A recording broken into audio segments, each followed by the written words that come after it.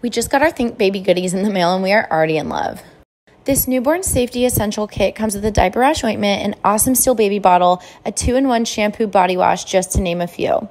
You can save $12.96 when you purchase these as a bundle.